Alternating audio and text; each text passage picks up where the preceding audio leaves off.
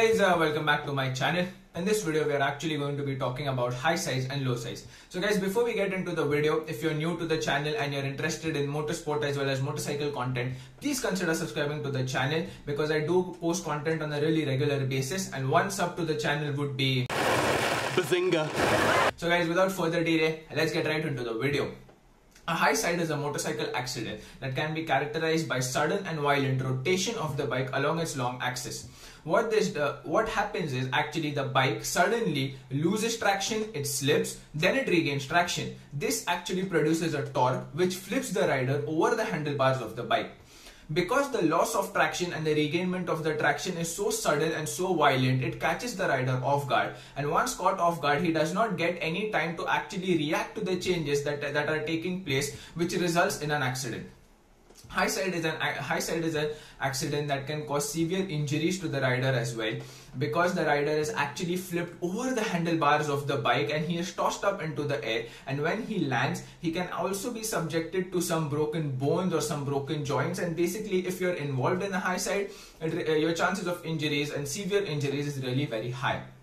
The main causes for the bike to high side are the rear wheels that are locked during braking incorrect downshift technique or uh, under excessive engine braking, excessive throttle in cornering or coming out of the corner, change in the track conditions such as the presence of water, oil, etc. on the track, new tires that are not fully adjusted to the track or the road, as well as reduced tire friction.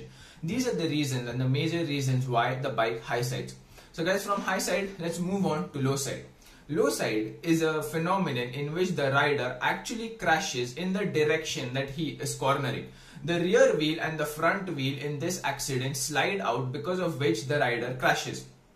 It is caused by excessive braking or uh, excessive acceleration into the corner. It can be easily avoided by actually downshifting before entering the corner or braking before entering the corner. A low side crash is not as impactful or as brutal as a high side crash because the rider is not actually flipped over the handlebar or it does not land in a very awkward position or very hard in a very hard position which actually causes less severe injuries and uh, he can actually away with it in a very minimal uh, manner.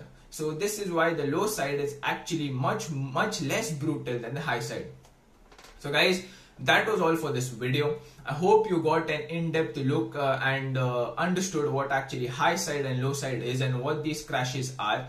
Also guys, if you're new to the channel, make sure that you hit the subscribe button and you ding the bell icon. And if you like the video, make sure to hit the like button. If you dislike the video, hit the dislike button twice. Also guys, I'll see you in the next video. Bye bye.